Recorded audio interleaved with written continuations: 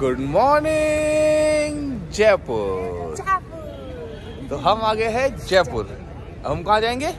खाटू श्याम जी के। तो अब हम जाएँगे नहीं पहले हम नाश्ता करेंगे फिर हम बस स्टैंड जाएँगे फिर हम आगे जाएँगे।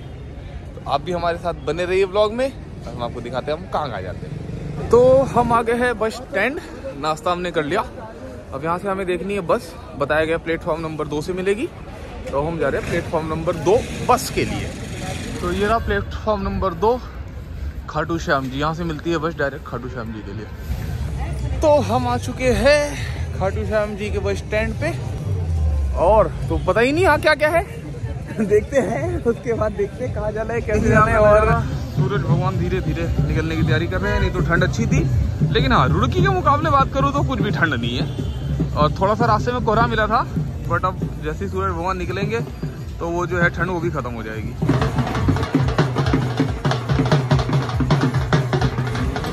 हम नहा लिए। और हम रहेंगे दर्शन के लिए। मौसम यहाँ बहुत बढ़िया है धूप निकल गई और सुबह चार बजे बता रहे थे बहुत तगड़ा हो रहा था लेकिन फ़िलहाल धूप निकल गई है। बाकी बहुत अच्छा बहुत बढ़िया मौसम हो गया हाँ।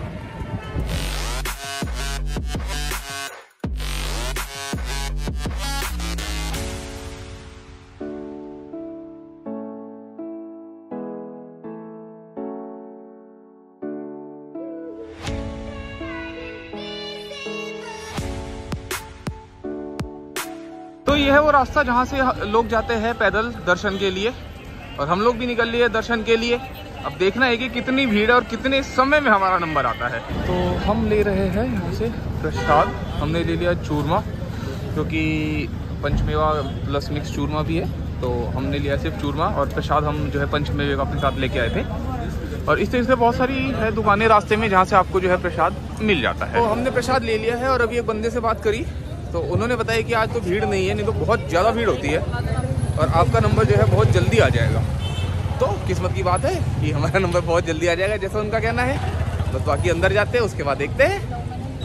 वैसे तो मंदिर के पास हर तरीके की सुविधा है, आपको प्रसाद चाहिए प्रसाद मिल जाएगा। अगर आपको जूते चप्पल उतारने तो वहाँ पे भी काउंटर मिल जाएगा, बट निशु कहने लगी कि हम नंगे पैर चलेंगे मंदिर तक। मैंने कहा, ठीक है, जैसी आपकी आज्ञा नंगे पैर चल लेंगे? मंदिर मार्ग जब बहुत ज़्यादा भीड़ होती है तो या फिर यहाँ से जाते हैं दर्शन करने के लिए। और जब भीड़ नहीं है तो आज हम यहाँ से जा रहे हैं डायरेक्ट दर्शन करने। ये हमने ले ली है गुलाब मंदिर में चढ़ाने के लिए।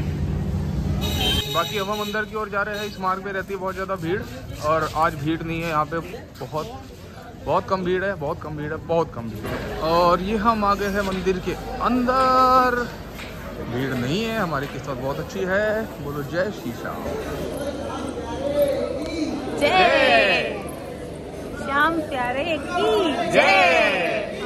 जय।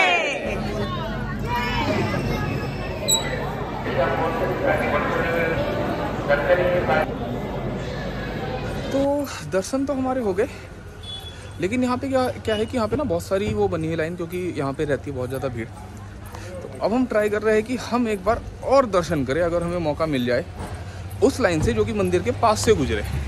और बाकी भीड़ नहीं है तो आज हम एक बार और दर्शन कर सकते हैं।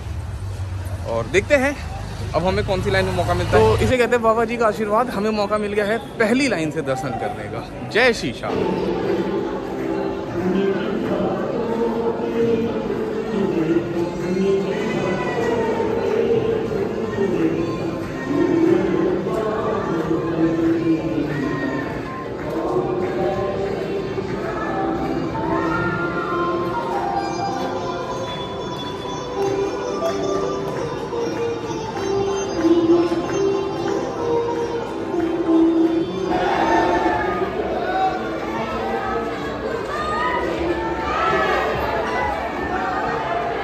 तो किस्मत की बात है कि हमें बाबा जी ने बुला लिया दर्शन देने के लिए मेन लाइन से।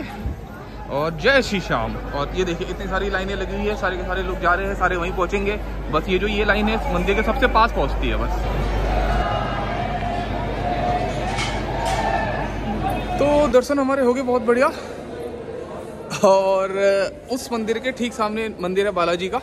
तो अब हम लाइन में लग गए बालाजी मंदिर में जाने के लिए। मैं आपको दिखाता हूँ वहाँ पे कैसी लाइन, लाइन जो मंदिर में जा रही है तो अगर आपको जा, जाना है दर्शन करने के खाटू श्याम जी का तो आपको लगना है उस तरफ़ वाली लाइन में जो जो सबसे उधर है। और अगर आपको जाना है बालाजी का दर्शन करने तो जो सबसे इस तरफ़ वाली लाइन है ये जो सबसे लास्ट वाली लाइन है इसमें लगना है। तो इससे हम पहुँचेंगे दर्शन के लिए बालाजी महाराज के और जो सबसे उधर वाली लाइन है उसमें हम पहुँचेंगे दर्शन के लिए खाटू श्याम जी के लिए। और जब बहुत ज़्यादा भीड़ होती है तो ये क्या कहते हैं सारी लाइनों को चलाते हैं। और आज जो है यहाँ पे भीड़ बहुत ज़्यादा नहीं है तो इसलिए ये है कि सिंगल सिंगल लाइन चल रही है और इस तरीके से लाइन में चल के हम दर्शन कर सकते हैं। और यहाँ पे आके हो जाती लाइन सेपरेट जिनको दर्शन करने हैं श्याम बाबा के, वो पहुँच जाते हैं जाली से उधर। और जिन्हें दर्शन करने बालाजी महाराज के, वो आ जाते हैं जाली से इधर। यहाँ पे भी चार लाइन है, और वहाँ पे देखा जाए तो वहाँ पे बहुत सारी लाइन है। तो बालाजी के दर्शन हमारे हो गए, और अब हम जा रहे हैं गोपीनाथ जी के दर्शन करने के लिए, और हम लग गए हैं लाइन में दोबारा। तो अगर आपको बालाजी के दर्शन करने तो आपको लगना पड़ेगा लाइन नंबर वन और टू में। मैं अभी आपको दिखाता हूँ बैक कैमरे से। वो जो चल रही है लाइन उस तरफ़ वन और टू, ये जाती है बालाजी के मंदिर पर। जो थ्री और फोर है, ये जाएगी गोपीनाथ जी के मंदिर में। और वही उस तरफ़ वाली लाइन जा रही है सीधा खाटू श्याम जी के मंदिर में। तो यहाँ पर ये कि आपको जब भी दर्शन करना है तो आपको हर बार लाइन में लगना पड़ेगा। तो अब हम तीसरी बार लग गए हैं। मतलब दो बार तो हमने दर्शन किए खाटू श्याम जी के, एक बार हमने किए बालाजी के, और अब हम जा रहे हैं गोपीनाथ जी के दर्शन करने।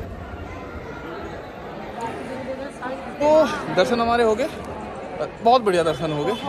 क्योंकि सबसे अच्छी बात है कि आज ज़्यादा भीड़ नहीं थी तो हम चार बार लाइन में लगे और जल्दी जल्दी हमारा काम होता गया। तो इस ब्लॉग को ये खत्म करते हैं। इस वीडियो के लिए इतना ही। Signing off this blog see you soon